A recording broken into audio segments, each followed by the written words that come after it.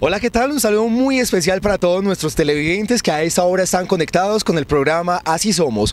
Hoy tenemos un tema muy interesante para toda la comunidad unitense y todas las personas que nos siguen a través de las redes sociales.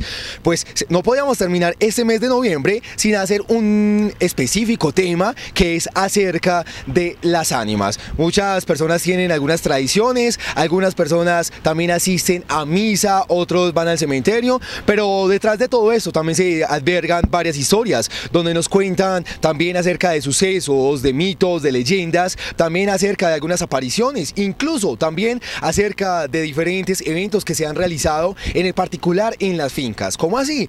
esos, esas llamadas guacas que descubren allí en esas fincas, bajo esos árboles o en algún lugar. Para eso hoy vamos a contar con diferentes personajes que nos van a hablar acerca de estos temas. Por eso los invitamos para que no se desconecten, para que estén súper conectados con este su programa Así Somos. Así que les damos la bienvenida y acompáñenos porque tenemos muchas personas que seguramente nos van a aclarar muchísimas dudas. Desde el parque principal del municipio de la Unión Antioquia tenemos testimonio frente a todas esas costumbres, también a los mitos y leyendas de los cuales muchas personas especulan. Así que para todos nuestros televidentes, hoy tenemos también dos invitadas, las cuales nos van a hablar un poco acerca de este tema. Le damos la bienvenida, ¿cómo es su nombre completo? Y bienvenida si somos.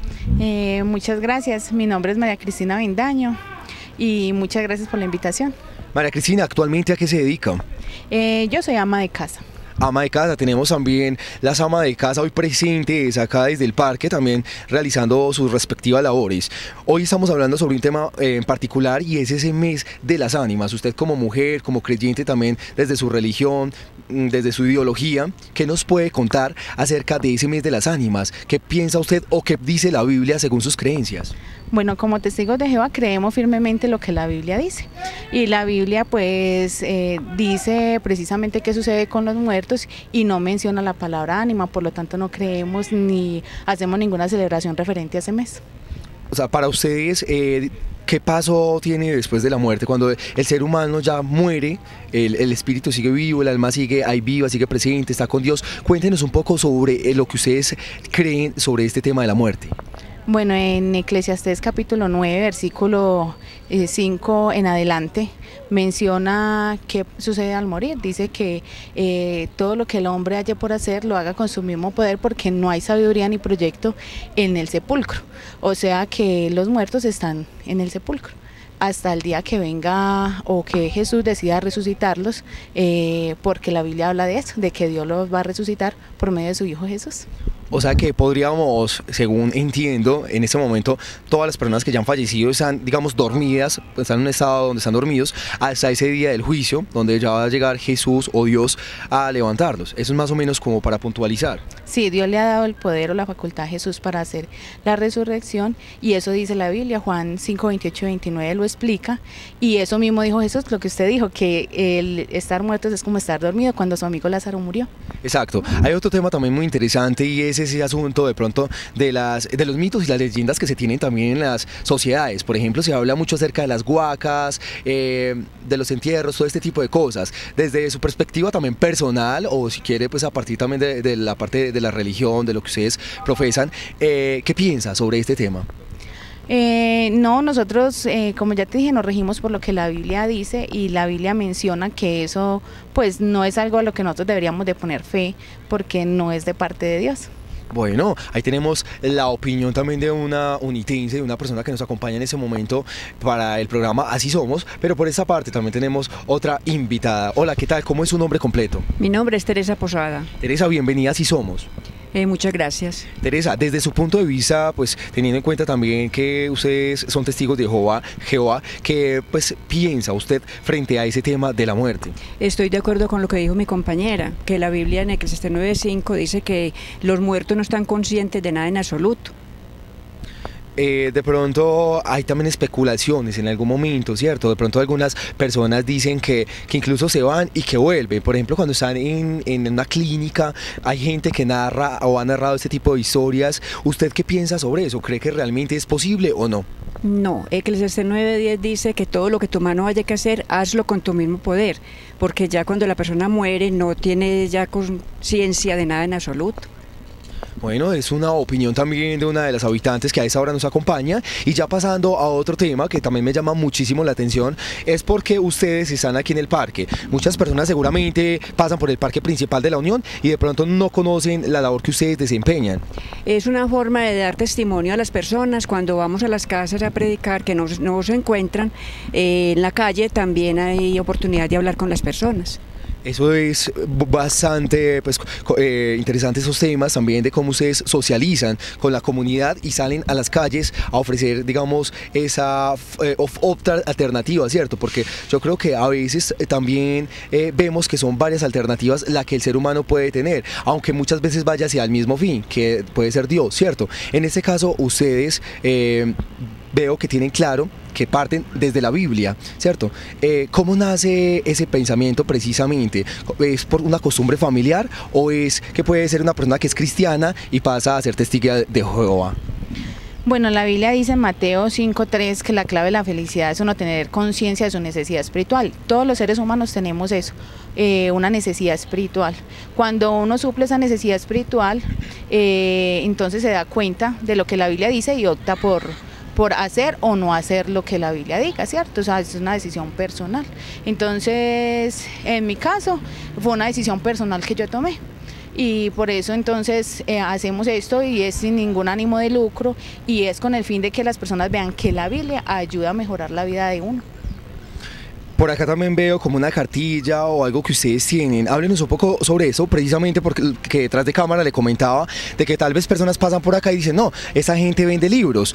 No es que venda libros, realmente yo creo que lo que quieren es llevar un mensaje a través de, la palabra. Sí me gustaría que nos aclarara un poquito sobre este tema. Bueno, tengo este folleto que se llama ¿Qué nos sucede cuando morimos? Precisamente por el tema que estábamos hablando. Eh, los exhibidores están aquí en el parque. Eh, las personas pueden acceder a la información de manera gratuita y sin ningún compromiso. Eh, hay varios temas diferentes, entonces según la necesidad de la persona puede llevar la información. A usted le agradecemos por su espacio, por brindar también la información para el Canal 8, para este programa y para la comunidad unitense.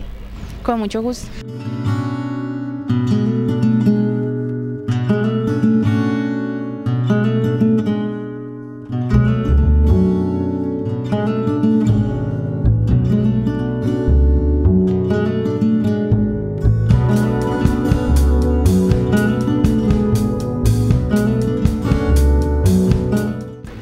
Qué mejor persona que un habitante de la Unión que pues ya lleve buen tiempo como tal en esta localidad que nos cuente acerca de estas historias. Así que le damos la bienvenida a nuestro invitado que ya nos acompaña acá en el parque. Por acá me lo encontré dando un paseíto. Eh, bienvenido y ¿cómo es su nombre? Jesús Antonio Patiño. Jesús Antonio Patiño, toda la vida de la Unión. Toda la vida de la Unión desde los abuelos. Desde los abuelos. Y el papá mío murió, nació en 1874. O sea que yo creo que uno de los fundadores de la Unión prácticamente. Pues posiblemente sí, porque lo que él contaba aquí, la unión toda se componía tal vez de tres o cuatro dueños.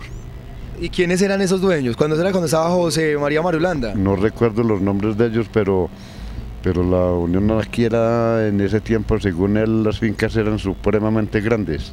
Eran muy grandes las fincas. Muy grandes las fincas y, hay otra cosa todavía mejor. Las primeras panelas que trajeron aquí a la Unión, panela, pues lo que, lo que llamamos el dulce o panela. Sí las traía un tío de onda. ¿Un tío suyo? Un tío de mi papá. Sí.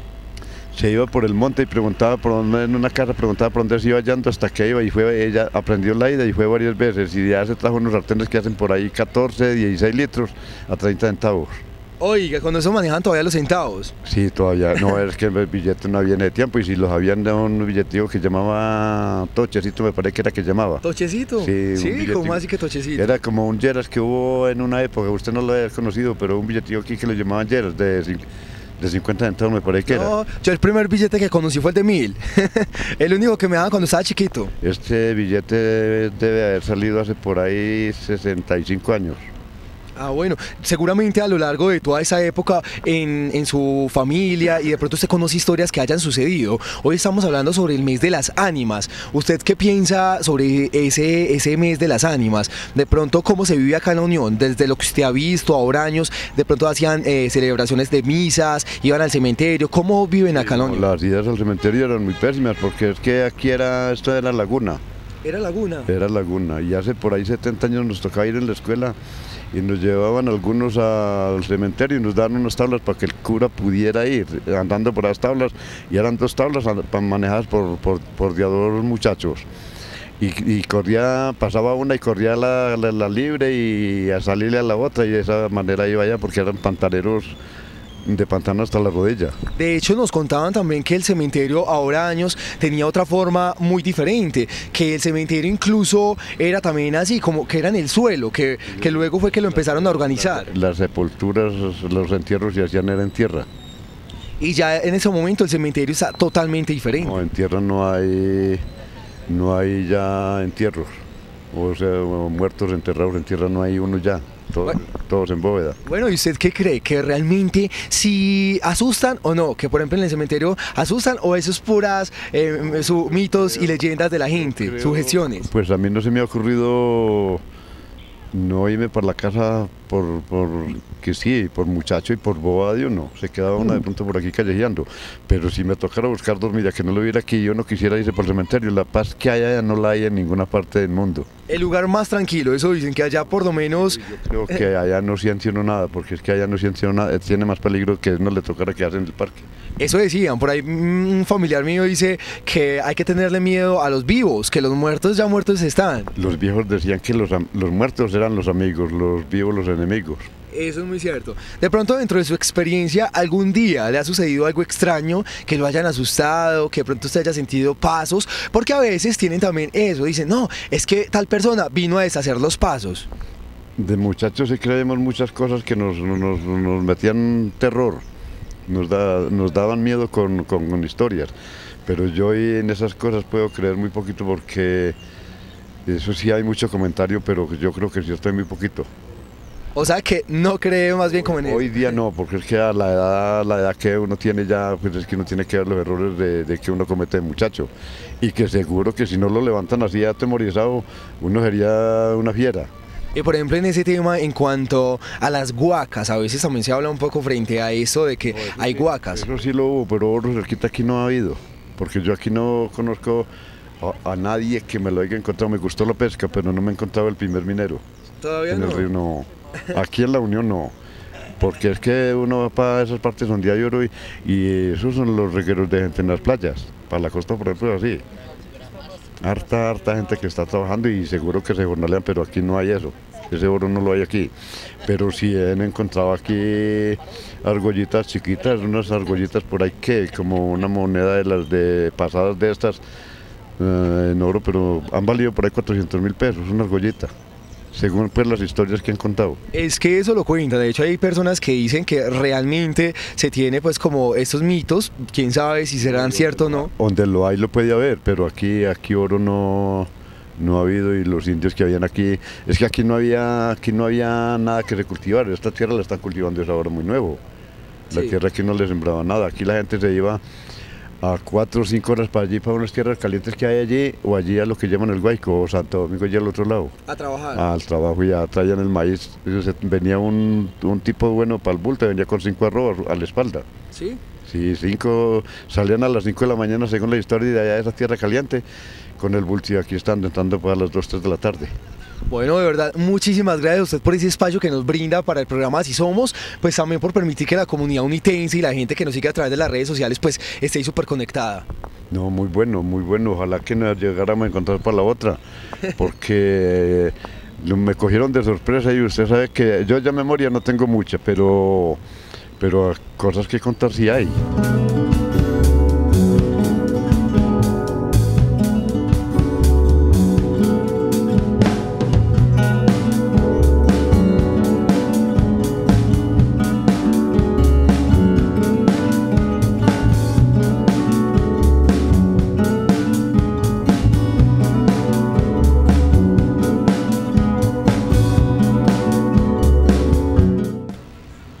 Así Somos hemos tenido diferentes testimonios, personas del común que nos han dado su perspectiva frente a este tema, pues que en ciertas ocasiones causa también especulaciones. Pero para eso también ya me encuentro con un invitado muy especial. Él es José Iván, él es padre de nuestro municipio, pues sacerdote del municipio de la Unión Antioquia, que nos hoy nos va a ampliar más sobre esta información. Así que le damos la bienvenida y pues qué bueno tenerlo de nuevo por el programa Así Somos. Claro, Fabián, muchas gracias pues por invitarnos eh, a este su programa y bueno, un saludo para todos los que nos están viendo a esta hora del día. Iniciamos de pronto contextualizando un poco a la gente acerca de esta celebración que se realiza, de pronto de las diferentes Eucaristías también, y cómo nace de pronto esa historia, de dónde surge esa historia de eh, celebrar como está este mes de las ánimas. Bueno, Fabián, eh, la celebración pues remonta a muy principios de, del inicio del cristianismo, ¿cierto? Un dato pues fijo, exacto de, de esta fecha no la tenemos, pero sí desde, desde principios del cristianismo, incluso antes también en, en, el judaísmo existía la tradición de orar por los difuntos, porque creemos y nuestra fe así nos lo asegura de que después de esta vida viene la vida en plenitud, que es la vida a la cual todos nosotros aspiramos, que es la vida en la presencia del mismo Dios. Y pues como te decía, desde muy inicios del cristianismo está la tradición de orar por los difuntos y se ha venido implementando en que en el mes de noviembre sea el mes como especial para recordar a nuestros difuntos, para orar por todos aquellos que ya han partido a la eternidad. Y eh, dentro del mes de noviembre, el 2 de noviembre propiamente, es un día muy especial en el cual pues se intensifica, digámoslo así, la oración por los fieles difuntos, se ofrece como sufragio nuestra oración por ellos y pues de manera especial la Eucaristía, que es el sufragio por excelencia para orar por los fieles difuntos. Así que en el cementerio se presentan también ese tipo de Eucaristías, allí donde las familias se reúnen para también recordar, para orar por estas personas que ya no están.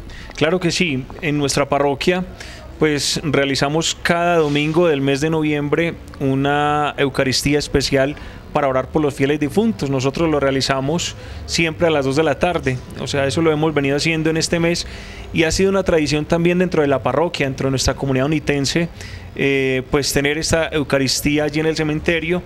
De igual manera, pues también este año tendremos eh, la Eucaristía aquí en el templo parroquial para orar por los fieles difuntos de la cripta no queriendo decir esto que no oramos por los demás fieles difuntos de otras partes, no, nuestra oración alcanza a todos nuestros familiares, nuestros amigos, nuestros seres queridos, así no estén enterrados pues acá en estas tierras unitenses. Padre, en otros municipios sucede algo muy curioso. Por ejemplo, podemos tomar el caso de lo que es San Luis. Estuve hablando con alguien de allí y me comentaba de que incluso en, el 31 de octubre allí no se celebra. Ellos esa fecha no se disfrazan o por lo menos este año no lo hicieron, sino que por el contrario lo tomaron desde un punto diferente para hacer como una oración, también para eh, evitar este tipo de situaciones. Caso similar sucede eh, también en otro municipio que es en remedios, allí pues eh, también salen, tienen unas tradiciones como un poco diferentes y es que salen como disfrazados o se caracterizan a veces y hacen como un desfile, incluso van a altas horas de la noche hasta el cementerio. Son dos municipios pues que han tenido costumbres a través de los años o también pues estos, estas nuevas costumbres que llegan. En nuestro municipio todavía se tiene una tradición incluso muy particular, pues vemos cómo pasó el 31 común y corriente y también cómo eh, pues estas fechas también se siguen eh, celebrando. Eh, pues quería hacer como ese apunte para la comunidad que de pronto eh, conoce y por eso quería preguntarle a usted si conoce otras comunidades fuera de esas dos donde se haga este tipo de rituales o de celebraciones. Bueno, cada pueblo, cada ciudad tiene sus, sus propias tradiciones, ¿cierto?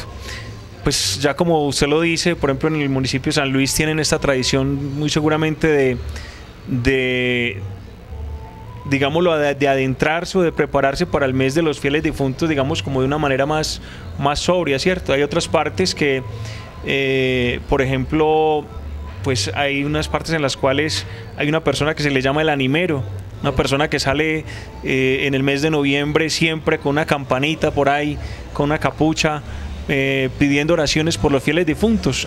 Se les llama animeros porque salen pues a muy altas horas de la noche pidiendo oraciones por, por los fieles difuntos.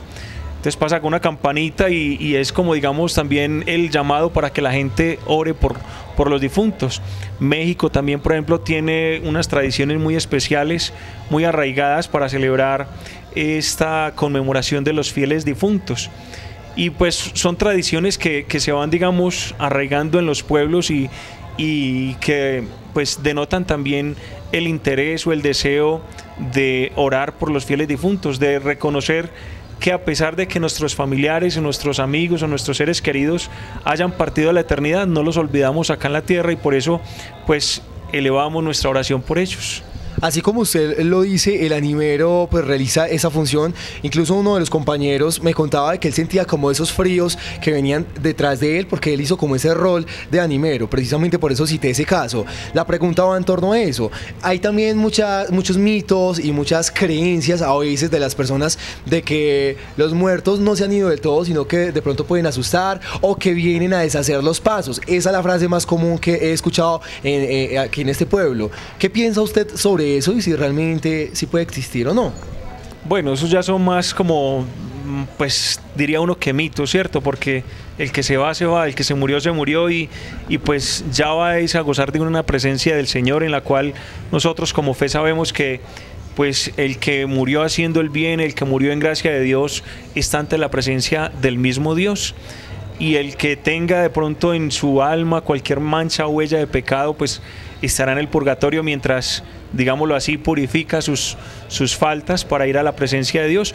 Y los que hayan muerto, digamos, dándole la espalda a Dios, digamos, renegando también de su fe, pues irá al infierno. Entonces ahí es donde está la iglesia triunfante, la iglesia purgante y la iglesia peregrinante que somos nosotros los que estamos en esta preparación para ir a la misma presencia de Dios. Entre los mismos mitos, y ya para puntualizar, también hay otras situaciones de las que se habla, y es acerca de esos temas de las guacas, de las apariciones, de, todo este tipo de cosas, de situaciones, y yo sí quisiera que usted nos ampliara de pronto un poquito si le ha eh, ocurrido de que llegue una persona y le diga, ay padre, es que lo que pasa es que a un familiar le sucedió esto y esto, o padre, a mi hija le están haciendo esto y esto. ¿Qué piensa usted como sacerdote? Pero también quisiera hacerle esa pregunta como ser humano.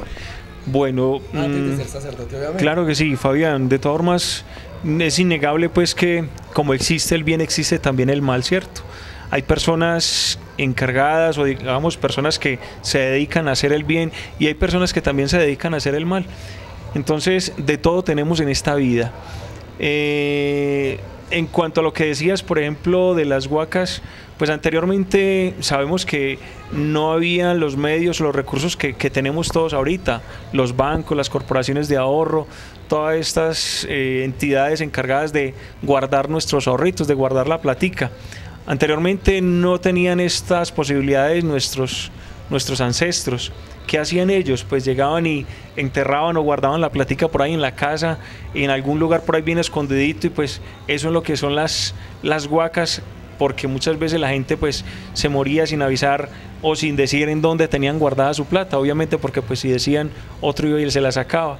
Entonces eso es lo que son las vacas también hoy en día. Anteriormente los indígenas pues también tenían, sabemos, el oro, tenían sus joyas y ellos las enterraban, las enterraban en unas vasijas de, de barro y esos eran los, los, entierros, los que muchas veces encuentran por ahí, ya no se encuentran porque pues ya hay mucho desarrollo, ya hay muchas edificaciones y pues ya los han ido desenterrando, digámoslo así. Pero anteriormente, claro, existían muchas huacas que, las personas se encontraban y, y, pues bueno, eso ha sido la suerte también para muchos. Y mi última pregunta, ahora sí ya vamos más a la parte personal, desde su propia experiencia personal, ya dejando de lado un poquito la parte de, de la religión, de ser sacerdote. ¿A usted le ha sucedido algo extraño en su vida, desde que estaba niño, algo extraño que usted eh, ya piense algo, sea a nivel positivo o a nivel negativo? Porque también puede ser que incluso usted antes de entrar a este mundo o a esta parte de sacerdocio, pues usted hubiera sentido una presencia de Dios muy bonita en su vida. Entonces nos quisiera que nos narrara algo en particular. Bueno, Fabián, no, negativamente no, tendríamos que decir que todo es positivamente, todo es positivo, porque pues siempre experimenta uno la presencia de Dios en la vida de uno, en muchos acontecimientos. Entonces yo diría más que mm, no nada negativo, sino todo positivo en la vida, porque todos son bendiciones que recibimos de Dios. Muchísimas gracias a usted por concedernos este espacio y pues y precisamente también por eh, ser así como son tan eh, directos con la comunidad. Me encanta eso de que el sacerdote o que la persona que está ahí eh, siendo mediador de Dios con la comunidad pues sea así, directo también y que las personas realmente puedan entender que en una persona como ustedes pueden escuchar, pueden también tener como ese amigo que los puede orientar. Claro que sí, Fabián. Muchas gracias pues por habernos invitado y a ustedes muchas gracias también por habernos escuchado en este día. Gracias y a todos ustedes los invitamos para que se queden súper conectados. Recuerden que también nos pueden seguir a través de nuestras redes sociales, en Facebook como la Unión Comercial y Turística, en YouTube como Canal 8 y a través del siguiente número 319-230-5598. No se despeguen porque ya vienen más sorpresas y más testimonios.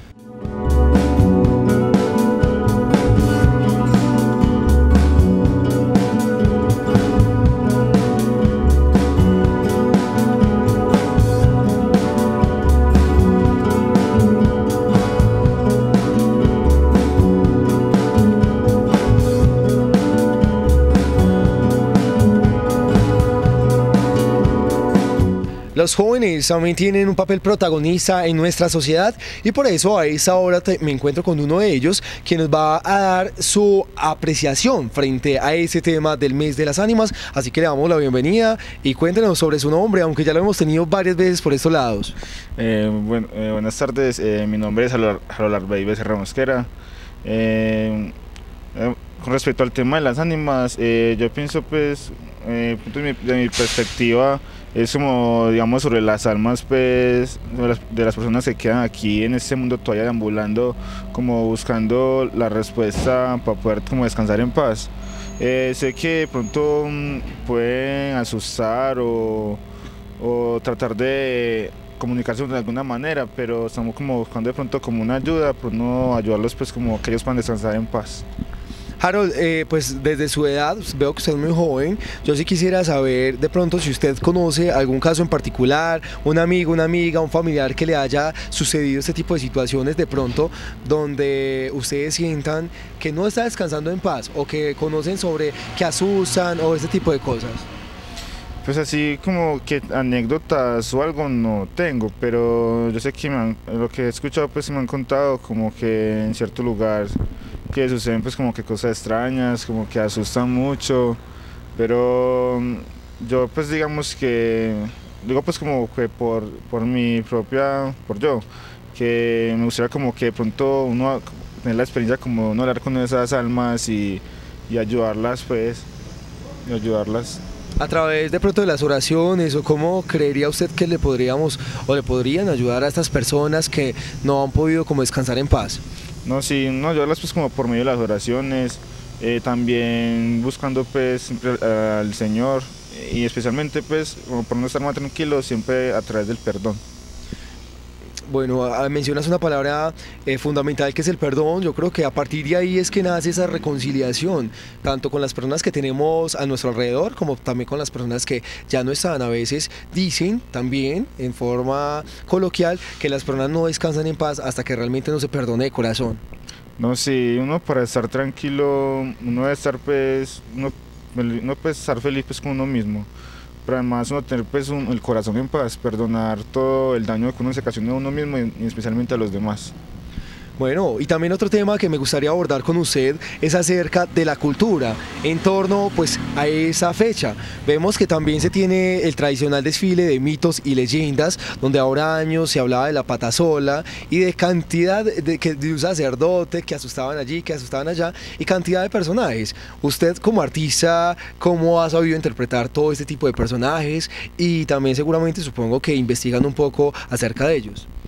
Eh, la verdad, eh, digamos que la oportunidad así como de poder participar de estos desfiles, eh, todavía no la tenido la oportunidad, pero si en cualquier momento que lo haga, eh, trataré y lograré como de vivir el personaje en tal y así como aprender de, de, ello y así como poder transmitir pues como ese conocimiento y esa alegría pues hacia los demás.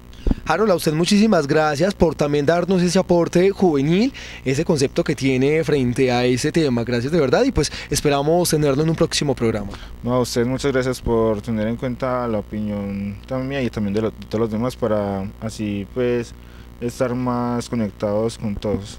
Gracias a usted y pues le recuerdo a todos nuestros televidentes que a esa hora están llegando a sintonía que hoy estamos hablando sobre un tema muy interesante y es acerca del mes de las ánimas. Todas las especulaciones que surgen en torno a ese mes que en muchos municipios tienen cierta tradición, donde hacen eucaristías, donde también de pronto hacen algunos desfiles y donde surgen también todo ese tipo de mitos. Así que los invitamos para que se queden súper conectados porque ya venimos con más testimonios. Nos encontramos desde una de las viviendas también de una de las habitantes del municipio de La Unión. Ella también nos va a narrar acerca de esas experiencias que ha tenido en torno a esa celebración que se lleva en el mes de noviembre. Así que le damos la bienvenida. Hola, ¿qué tal? ¿Cómo es su nombre completo? Y pues bienvenida Así Somos. Eh, Blanca Tulia Toro. Tulia, ¿qué tal? ¿Cómo va todo? La veo como achicopalada. ¿Qué le pasó pues por acá? Ah, pues me caí, me estaba como quebrando una mano. Pero ya está mejorcita. Ah, sí, gracias a Dios. Bueno, Tulia, gracias a Dios y esperamos que se mejore pronto para que parranden este diciembre. Pues puede ser, porque si no, Claro, para graves. hacer, para hacer los dulces, los dulces. Ah, sí, claro. Tulia, bueno, pues iniciemos contándole pues acerca del tema de hoy, es que estamos hablando acerca de las ánimas de este mes tan especial para muchos y por eso yo quisiera preguntarle usted cómo vive este mes de noviembre en torno a esa celebración. Ah, pues muy bien, uno le hace la novena de las al- almas del purgatorio, como para que le descansen ellas y que también nos colaboren, será. Para que también les colaboren, sí. ¿Será que sí les colaboran? Pues de pronto las ánimas son muy milagrosas. Bueno, eso es importante también de que tengamos presentes de que realmente eh, esas personas que están en el más allá o que ya están ahí con Dios, pues puedan estar eh, de cierta manera apoyándolos y cuidándolos. Claro que sí. Desde su punto de vista o desde lo que usted conoce, ¿qué es lo que se hace acá, por ejemplo, en la, en la Unión? ¿Y qué se hacía ahora años? ¿Qué tradiciones se tienen para ese mes de noviembre? Pues también las misas y novenas, porque toda la gente va a hacer las novenas a las almas del purgatorio. Primero, todo el mes tocaban las campanas en, en la iglesia, ahorita no se oyen las campanas. ¿Cómo era eso de las campanas? De pronto uno que está más joven no conoce o no conoció sobre este tema. Siempre como a las 8 de la noche como que tocaban las campanas, doblaban pues por las almas del purgatorio. Ya como que dejaron la costumbre de tocar las campanas, no sé por qué. ¿Dirán que despiertan a toda la gente a la medianoche o qué? Como siempre se oía, pues las campanas siempre se estremecía como uno, como que le daba siempre sustico. Seguramente por eso dejaron de tocar las campanas. O sea, que eso era una tradición que se tenía. ¿Y para qué fecha era? ¿Para, o sea, todos los días de noviembre o solamente un día en especial? No, todo el mes de noviembre tocaban las campanas a las 8 de la noche. Ah, a las 8, yo pensé que a las 12. No, a las 8 de la noche. Ah, no, a las 8 está bien, porque uno a las 12 escuchando por allá esas campanas, mejor dicho, ahí sí que se para de la cama asustado. Pero sí también se oye asustador, se oía. A las 8 de la noche se oía siempre como, pues como siempre sentía uno algo. ¿Y qué pensaba usted en ese entonces? No, que, que siempre le da uno como miedito, pero no, pues como... Pero se acostumbraba uno siempre el mes de las ánimas que siempre tocaban las campanas. Eh, Tulia, pues que es, es interesante descubrir pues todos esos temas que se tienen. Eh, es bonito también saber que ustedes a través de su tiempo han vivido toda esa experiencia en la Unión. Por eso yo también quisiera preguntarle si en su tiempo, en su experiencia, usted ha tenido la oportunidad como tal de conocer algunos casos donde hayan asustado o que de pronto hay una guaca o que de pronto le haya sucedido a alguien en particular y nos quiera narrar. Ah, no, yo de Huacas pues sí no tengo como experiencia porque yo nunca, pues el esposo mío es el que mienta mucho de Huacas, yo sí no sé nada de eso. Ah, o sea que él ahorita nos va a contar sobre eso. Pues sí, porque él habla mucho que de Huacas, que lo asustaban. ¿Sí? Sí, Ah, entonces dejemos que ya le damos, le damos paso a él para que también nos amplíe más esa información y pues que nos hable acerca de esas costumbres. ah, sí, claro, él sí les cuenta todo. Tulia, a usted le agradecemos por ese espacio que nos brinda en su casa, en su hogar, de llegar hasta eh, esta familia tan acogedora. Ah, con mucho gusto, bueno. Bueno, invitamos también a los televidentes para que no se despeguen, porque ya venimos con el esposo Doña Tulia para que él también nos cuente acerca de estas historias. Amigos televidentes, ya vamos llegando casi a la recta final de este su programa Así Somos. Y pues para esta oportunidad me encuentro con otro invitado. Él es eh, Bertulio, el esposo de Tulia, quien hoy nos acompaña y pues que nos va a contar también acerca de estas historias. Así que le damos la bienvenida. Regálenos su nombre completo. José Bertulio Alzate Marulanda. Qué bueno tenerlo nuevamente en Así Somos y saber de que ustedes como personas mayores pues también tienen un legado para toda la sociedad y en especial para estos jóvenes y para las personas que llegan que de pronto no conocen mucho sobre la historia de nuestro municipio. Por eso quisiera preguntarle acerca de esas costumbres que se tenían ahora años sobre el mes de las ánimas. ¿Cómo era eso ahora años? Hombre, el horario ahora año era muy, muy bueno para llegar el día de las, ánimas, se sabía que, que había que cumplir con todo. Entonces el reglamento uno lo llevan a misa, todos los días, como el cuento. No es como ahora que no se, olvidan de, de que un, un amigo, un pariente o el padre se murió. Eso se olvidaron de todo. Hoy se muere y es como, como que si fuera un animal. Ahora había que respetar todos los sentidos. Y entonces eh, enviaban de pronto familiar a que mm, celebrara o que pues pidiera un espacio para hacer la celebración de la, la Eucaristía. Con anticipación y no era como ahora que allá los curas que que avisan y eso, claro que ahora tienen que avisar pues el asunto de que había más generación hoy en día. En esa época iba uno y a cualquier hora que fuera le, le anotaban la misita o en fin, un cabo de año o cualquier cosa, se lo anotaban ahí mismo porque había más poquita Hoy en día, como hay tanta generación, ya tienen que abrir más espacio para todo. Eh, Tulio, ahora años también se tenía pues como diferentes tradiciones, incluso por ejemplo en otros municipios hacen algo que es, es que el, el animero o un señor pues que sale pues como a tocar una campanita por las calles, acá como lo decía doña Tulia, eh, se tocaban eran las campañas Sí. ahora años. Correcto, ahora año era la- lo que ya la señora contó, eso era todo así perfectamente, ¿para qué me voy a poner a, a poner más o a poner menos?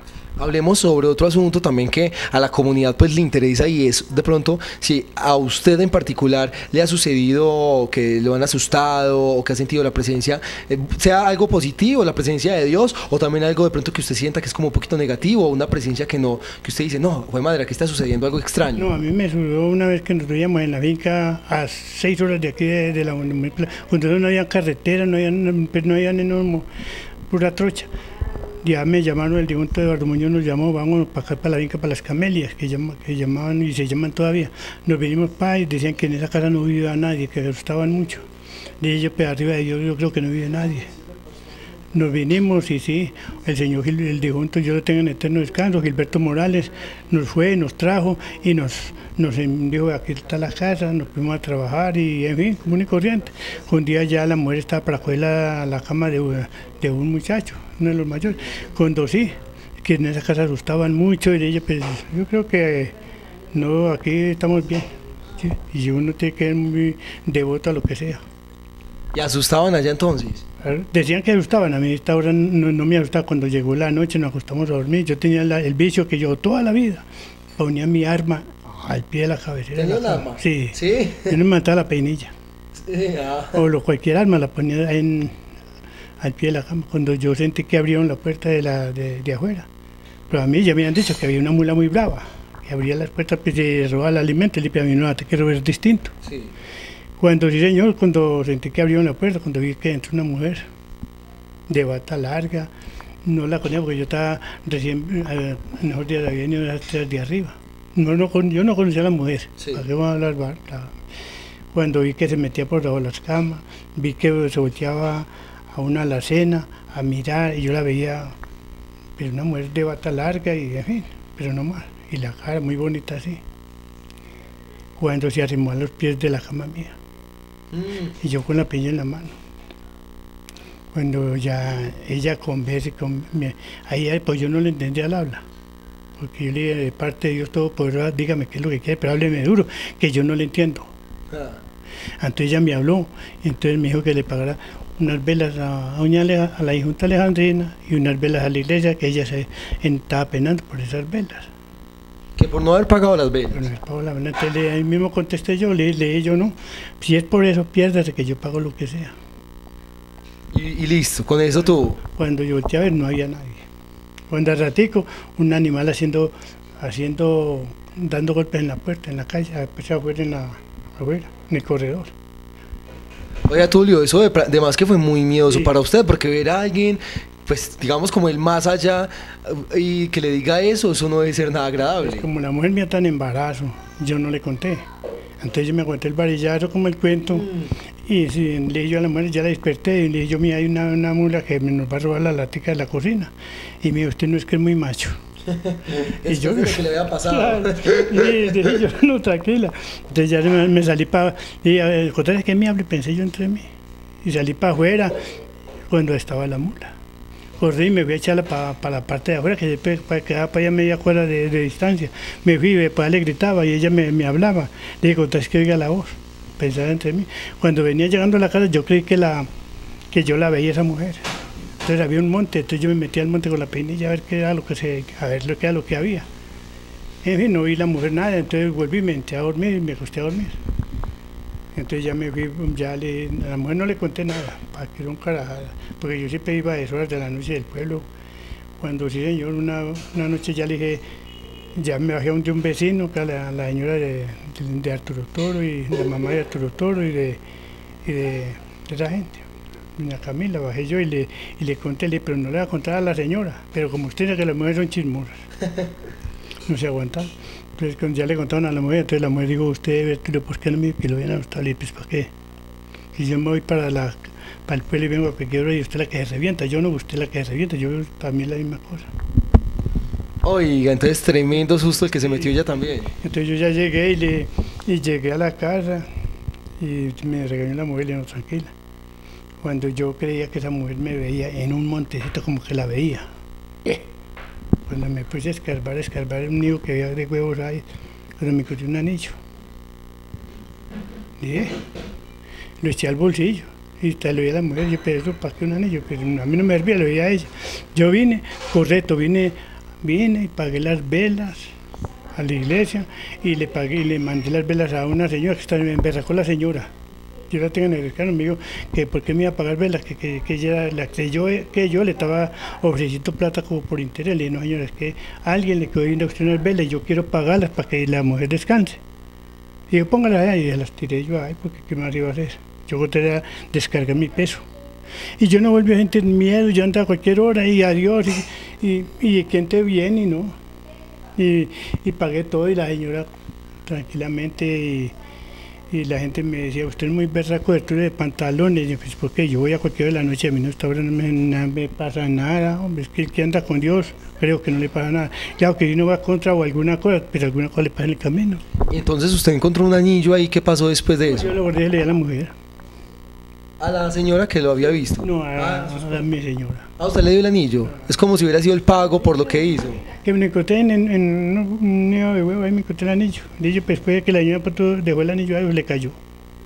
Ay, oye, de pronto fue el pago incluso que le pudo haber dado por usted haberle eh, colaborado con las velas. Lo único que me pasó en esta vida. Ah, bueno. Tulio, de verdad muchísimas gracias a usted por ese espacio que nos brinda. Gracias por permitir que el programa Así Somos y pues, la comunidad unitense pueda eh, saber sobre esas No, historias. que sigan animados, que no dejen la devoción. Bueno, muchísimas gracias a usted y esperamos tenerlo pronto por acá en este su programa Así Somos. Bueno, mi Dios le pague le decía, y vuelan por aquí, que estamos a la orden para que Bueno, muchas gracias y los invitamos a todos ustedes, a nuestros televidentes, para que se queden súper conectados y para que también nos sigan a través de nuestras redes sociales. En Facebook como la Unión Comercial y Turística, en YouTube como Canal 8 y también a través del siguiente número, 319-230-5598. Recuerden que el programa Así Somos es un programa que quiere mostrar esas costumbres que se tienen desde esta localidad del municipio de la Unión Antioquia. Continuamos en otro de los hogares del municipio de La Unión. Otra ama de casa pues nos abre su espacio para compartir un poco de esas historias que se albergan desde el municipio de La Unión. Por eso le damos la bienvenida a ella, pues qué bueno tenerla en nuestro programa. ¿Cómo es su nombre completo? Mm, buenas tardes, mi nombre es Nubia Amparo Kirama. Nubia, pues bienvenida al programa Así Somos y hoy pues estamos hablando sobre un tema en particular que es esos asustos y esas tradiciones también que se tienen en el mes de las ánimas. Cuéntenos eh, sobre esas tradiciones que se tienen desde el pueblo o si usted viene desde otro municipio de pronto. No, yo soy de acá de la Unión, pues las tradiciones, uno siempre hace la novenita en el mes de las ánimas. Pues desafortunadamente yo cuando vivía lejos venía más al cementerio. Yo, yo no sé, ahora que estoy cerquita como que no, pero más sin embargo no dejo de hacer la novenita. O sea que cuando estaba lejos sí venía a saludar por aquí a todos y ya ahora que está al bordito ya no va. No. Venía desde lejísimos, cuando era un adolescente venía por allá desde la cabaña. ¿Sí? Sí, veníamos diario a hacer la novenita. Y después, eh, ya soltera, también venía o sea, ya vivíamos acá en el pueblo, ya más, de más edad, pero venía a diario a hacer la novena. Ahora que estoy aquí cerquitica, no. Eh, oiga, es muy curioso lo que sucede, pero bueno, seguramente ya ahora que estamos tan cerquita del cementerio y pues precisamente tocando ese tema, ¿cómo viven ustedes, digamos, ese momento? Pues en el sentido de que seguramente les va a tocar ver esos mm, hijos, esas madres llorando, todas esas personas desesperadas al saber que un ser querido no se les, ya se les ha ido de las manos. Ay, sí, eso es muy triste, uno ver la gente que pasa, pues a mí, a mí no me gusta como salir a la puerta a mirar, pero sí, casualmente hay veces llega uno, va llegando, va saliendo y se encuentra aquí hacia arriba, y sí ve la gente muy triste, eso es muy doloroso. Es como cuando uno va a la iglesia y a entierros de gente allegada, sí, muy triste. ¿A usted también le ha sucedido de pronto eh, casos particulares donde la hayan asustado, donde usted haya tenido una experiencia así, algo particular? Sí, señor. Cuéntenos a ver. Vea, cuando empezaron las fiestas de la papa, eso hace, no, pues yo tenía a los niños pequeñitos. Eh, se adornaban las calles. Yo salí pues muy animada, yo era con todos los vecinos súper animada. Cuando llegó el marido y me va diciendo, es que bueno, entres ya a, dormir. Entonces yo seguía ahí, es que la mujer que no le hace caso al marido, sepa lo que la asusta. bueno, yo me quedé así, pero seguí funcionando por allá como a las 3 de la mañana. Estábamos ya arreglando lo último al puerto del cementerio cuando llegó yo vi algo por ahí de, desde antes de empezar a subir las escalas, un bultico blanquito, por ahí de este tamaño. Empezó a subir, a subir, a subir, yo me quedé perpleja. Era, ¿esto qué será? ¿Será un gato? ¿Será un perro? Pero es muy alto, no, no es un gato. Cuando traspasó la lámina, ya le dije a todos, muchachos, ¿se vieron? Es que, ¿qué? Y yo, un asusto. Y ahí mismo me vine. ¿Y qué horas eran? Por ahí las 3 de la mañana. Muy miedoso. Si yo me vine y yo no volví a funcionar por ahí en la calle esta tarde. Ya le da miedo. me da miedo. No, y es un sector que de cierta manera para algunos puede ocasionar eh, misterio, por los que cruzan hacia, hacia Villas del Río, los que están por estos sectores aledaños, pues también pasa mucho y que no, qué miedo de pronto por ahí, o se crea también ese mito de que asustan que porque están al lado de un cementerio. Incluso ahora años había una familia que vivía ahí al pie del cementerio. Ah, sí, no, y las hay. Ahí detrás hay casitas. Sí. sí.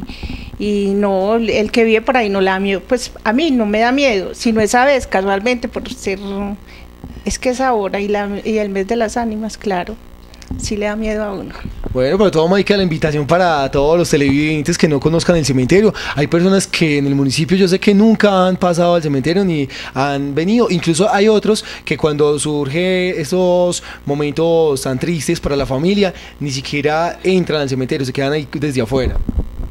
Sí, es cierto. Pues a mí me ha tocado que con mi hermanito, que se murió hace seis años, y con una hermanita que se murió, a ver, hace 33 años, tenía 18 años. Muy joven. Muy jovencita. Y desde su experiencia, también aparte de ese hecho que, que vivió de pronto, otro que nos pueda contar o, o, algo que le hayan contado en torno a sus asustos, a las guacas, a todas esas cosas que pues la gente tiene como ahí presente en este mes en especial de noviembre, que es el mes como de las ánimas. Ay, las huacas, si le contara, imagine que cuando yo era una jovencita por las tierras donde yo viví, había muchos asustos.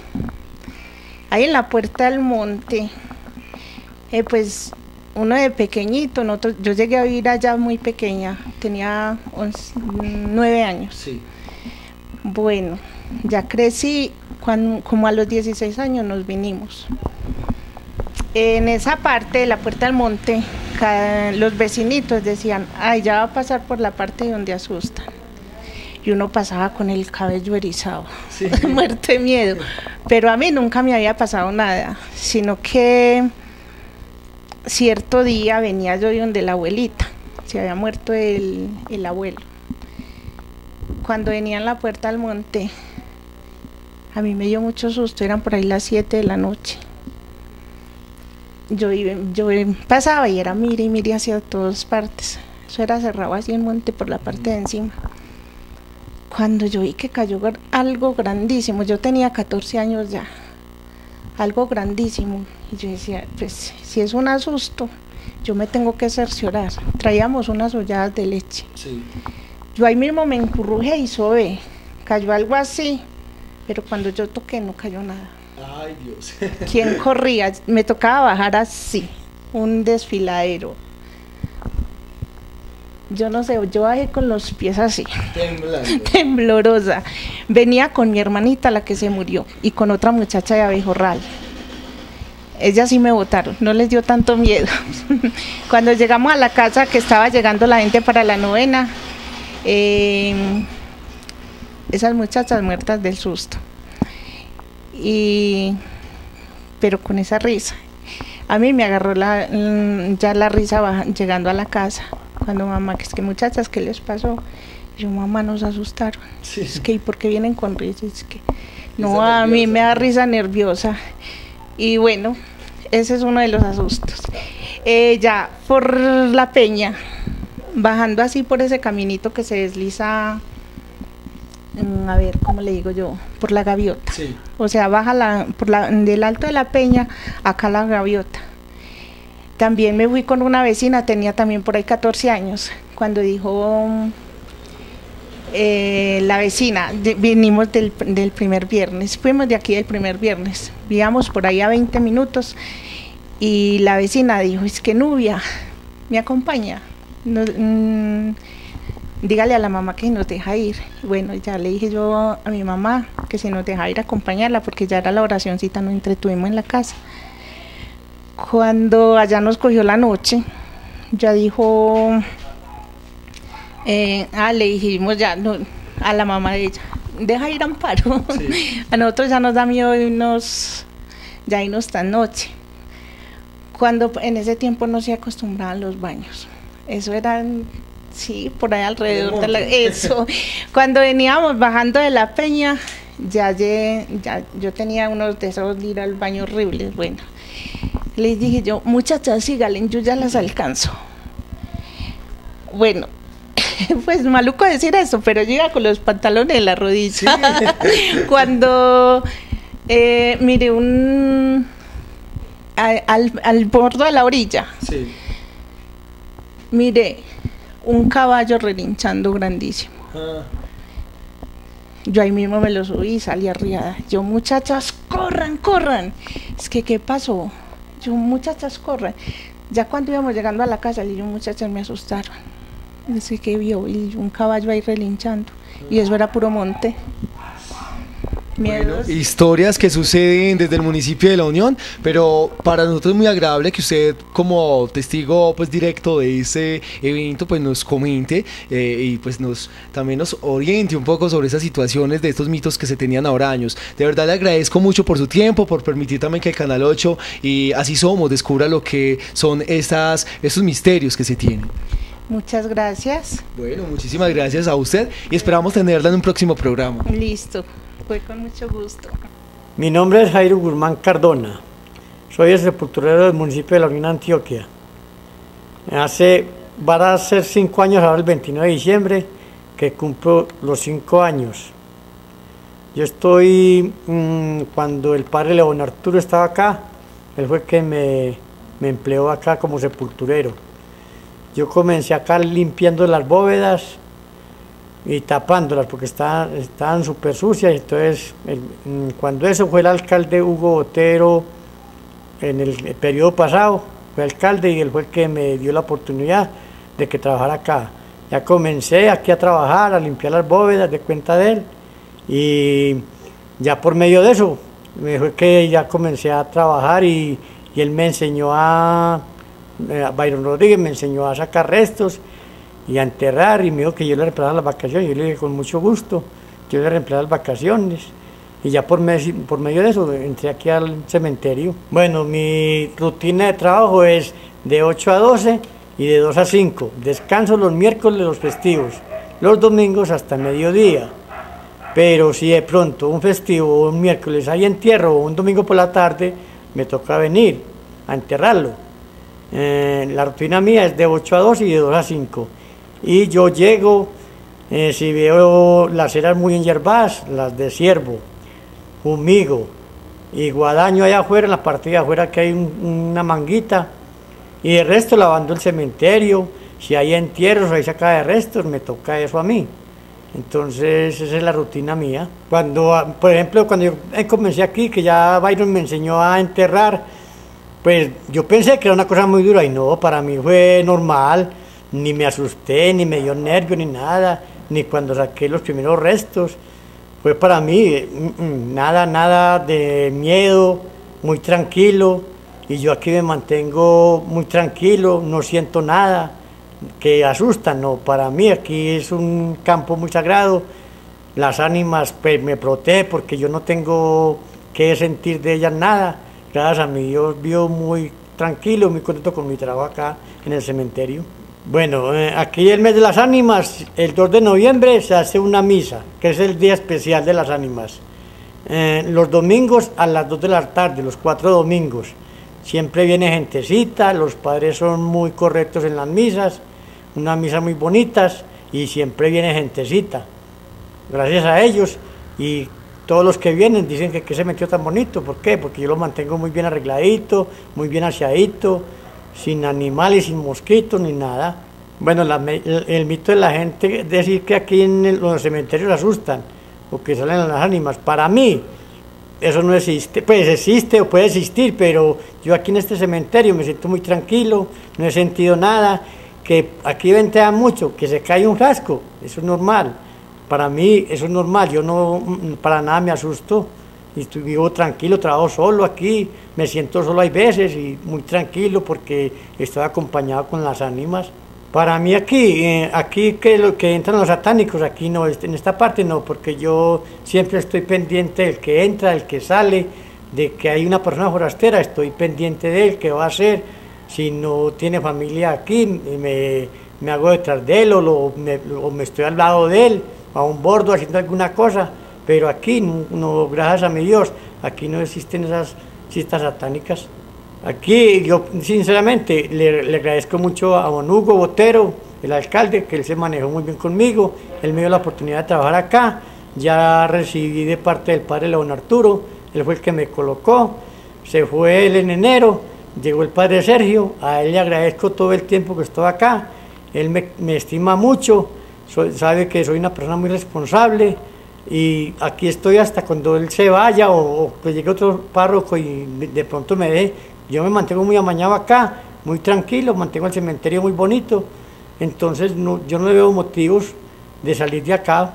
Claro que usted sabe que las leyes son leyes, pero hasta el momento yo me siento muy tranquilo acá desde el cementerio del municipio de la Unión Antioquia, pues nos despedimos agradecidos con todos ustedes, nuestros televidentes que estuvieron hoy presentes en este Así Somos. Hoy tuvimos la oportunidad de descubrir un mundo tal vez de fantasía para muchos, pero también de realidades para otros. Vimos estas personas que nos cuentan sus historias propias a través de su historia, cómo ellos les han surgido diferentes eventos, algunos asustos, otros han tenido la oportunidad de conocer acerca del tema de las huacas y también hoy puntualizamos sobre lo que fue el mes de noviembre, el mes de las ánimas, donde también tuvimos la oportunidad de estar con el sacerdote, con otras religiones también, como fue la testigo de Jehová, que hoy pues nos dio ese espacio para también compartir. Lo más importante es tener esa línea de tolerancia con los demás y por supuesto también conocer a través de estos medios de comunicación. A todos ustedes les agradezco por ese espacio que nos brindan, por permitir de que Canal 8 y que, que este programa Así Somos, pues pues llegue hasta cada hogar de Antioquia. También agradecidos con la Corporación de Televisión Comunitaria de la Unión por permitir de que ese programa llegue hasta cada rincón de Antioquia. Y recuerden que solamente no es a través de la plataforma del canal, sino que también hay una vía virtual, a través de Facebook como la Unión Comercial y Turística, en YouTube como Canal 8 y también si de pronto nos quieren invitar a un programa o quieren que hagamos una nota con ustedes, se contactan con nosotros a través del 319-230-5598. Recuerde quien nos acompañó en esta oportunidad de Así Somos, Fabián Orozco. Hasta una próxima.